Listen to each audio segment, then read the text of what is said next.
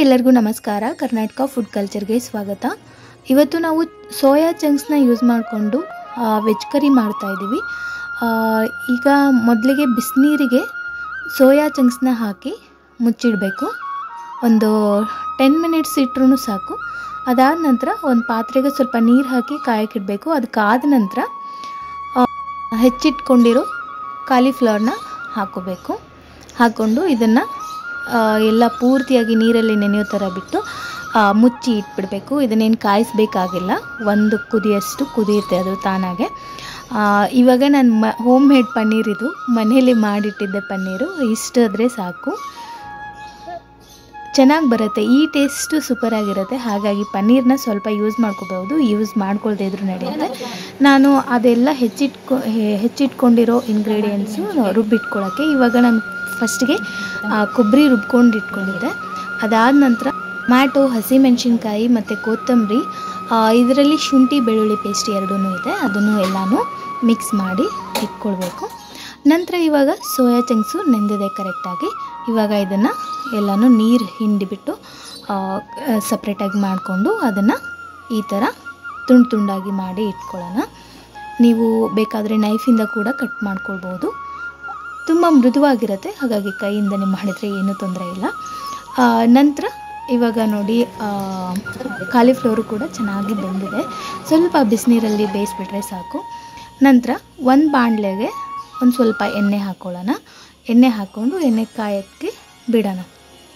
ಕಾದ ನಂತರ ಸ್ವಲ್ಪ ಸಾಸಿವೆ ಹಾಕ್ಕೊಂಡು ಇದು ಚಟಪಟ ಅಂತ ಸಿಡಿದ ಮೇಲೆ ಸ್ವಲ್ಪ ಜೀರಿಗೆ ಹಾಕ್ಕೊಳ್ಳೋಣ ಅದಾದ ನಂತರ ಈರುಳ್ಳಿ ಹೆಚ್ಚಿಟ್ಕೊಂಡಿರೋ ಈರುಳ್ಳಿನ ಹಾಕ್ಕೊಳ್ಳೋಣ ಹಾಕ್ಕೊಂಡು ನಂತರ ಕರಿಬೇವು ಕೂಡ ಹಾಕ್ಕೊಂಡಿದ್ದೀನಿ. ಹಾಕ್ಕೊಂಡು ಚೆನ್ನಾಗಿ ಬಾಡಿಸ್ಕೋಬೇಕು.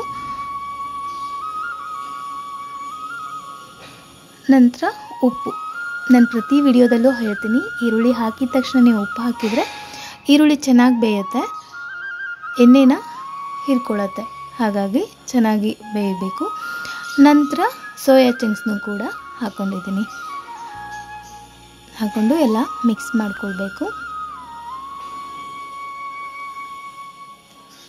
ಇದಾದ ನಂತರ ಪನ್ನೀರನ್ನು ಹಾಕ್ಕೊಂಡಿದ್ದೀನಿ ಪನ್ನೀರನ್ನು ಕೂಡ ನ, ಚೆನ್ನಾಗಿ ಬೇಯಿಸ್ಕೋಬೇಕು. ಹಾಗೆ ಚಾನಲ ಯಾರೆಲ್ಲ ಸಬ್ಸ್ಕ್ರೈಬ್ ಮಾಡಿಲ್ಲ, ಅವರೆಲ್ಲ ಸಬ್ಸ್ಕ್ರೈಬ್ ಮಾಡಿ ಲೈಕ್ ಕೊಡೋದನ್ನ ಮರಿಬೇಡಿ. ಹತ್ತಿರದಲ್ಲಿರೋ ಬೆಲ್ ಬಟನ್ ಒತ್ತೋದ್ರಿಂದ ನೆಕ್ಸ್ಟ್ ವಿಡಿಯೋ ನೋಟಿಫಿಕೇಷನ್ ನಿಮಗೆ ತೋರಿಸ್ತಾ ಹೋಗುತ್ತೆ.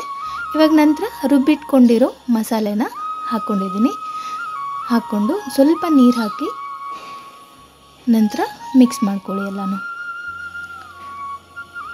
ಇದು ಎಣ್ಣೆಯಲ್ಲಿ ಚೆನ್ನಾಗಿ ಫ್ರೈ ಆಗಲಿ, ಹಾಗಾಗಿ ಕ್ಲೋಸ್ ಮಾಡಿಬಿಡೋಣ ಲಿಡ್ಡು ಒಂದು ಐದು ನಿಮಿಷ ಕ್ಲೋಸ್ ಮಾಡಿದ ಮೇಲೆ ಮತ್ತೆ ತೆಗೆದು ಚೆನ್ನಾಗಿ ಕೈಯಾಡಿಸ್ಕೊಳ್ಳೋಣ. ನಂತರ ಇವಾಗ ಒಂದು ಸ್ವಲ್ಪ ನೀರು ಹಾಕ್ಕೊಂಡು ಮಿಕ್ಸ್ ಮಾಡ್ಕೊಳ್ಳೋಣ. ಮತ್ತೆ ಲಿಡ್ ಕ್ಲೋಸ್ ಮಾಡಿ ಒಂದು ಐದು ನಿಮಿಷದ ಕಾಲ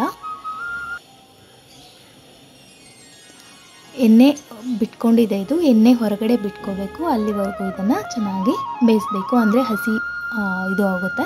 ಇವಾಗ ಗರಂ ಮಸಾಲ, ಸ್ವಲ್ಪ ಅರಿಶಿನ ಧನಿಯಾ ಪುಡಿ ಮತ್ತು ಅಚ್ಕಾರದ ಪುಡಿನ ಹಾಕ್ಕೊಂಡಿದ್ದೀನಿ ಹಾಕ್ಕೊಂಡು ಎಲ್ಲನೂ ಮಿಕ್ಸ್ ಮಾಡ್ಕೊತಾ ಇದ್ದೀನಿ. ಇದಾದ ನಂತರ ಬೇಯಿಸ್ಕೊಂಡಿರೋ ಕಾಲಿಫ್ಲವರ್ನ ಹಾಕಿ ಮಿಕ್ಸ್ ಮಾಡ್ಕೊಳ್ಳೋಣ. ನೀವು ಬೇರೆ ತರಕಾರಿನೂ ಕೂಡ ಯೂಸ್ ಮಾಡ್ಕೊಳ್ಬಹುದು. ಕ್ಯಾರೆಟ್ ಕೂಡ ನೀವು ಇದರಲ್ಲಿ ಯೂಸ್ ಮಾಡ್ಕೊಳ್ಬೋದು ನಾನು ಇದಷ್ಟು ಯೂಸ್ ಮಾಡ್ಕೊಂಡಿದ್ದೀನಿ.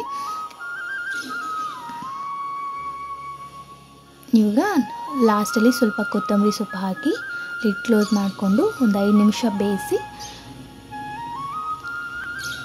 ಎಲ್ಲನೂ, ಎಲ್ಲ ತರಕಾರಿನೂ ಚೆನ್ನಾಗಿ ಬೆಂದಿದೆ. ನೀವು ಇನ್ನೊಂದು ಸ್ವಲ್ಪ ಬೇಯಿಸ್ಕೋಬೇಕು. ಒಂದೆರಡು ಸರಿ ಲಿಡ್ ಕ್ಲೋಸ್ ಮಾಡಿ ಮಿಕ್ಸ್ ಮಾಡಿ, ಮತ್ತೆ ಲಿಡ್ ಕ್ಲೋಸ್ ಮಾಡಿ ಮಿಕ್ಸ್ ಮಾಡಿಕೊಂಡ್ರೆ ಪಲ್ಯ ರೆಡಿ ಆಗಿರುತ್ತೆ. ಇದನ್ನು ಚಪಾತಿ, ಅನ್ನ, ಪರೋಟ ಜೊತೆ ನೀವು ತಿನ್ಬೋದು. ಮಾಡಿ ನೋಡಿ ಥ್ಯಾಂಕ್ ಯು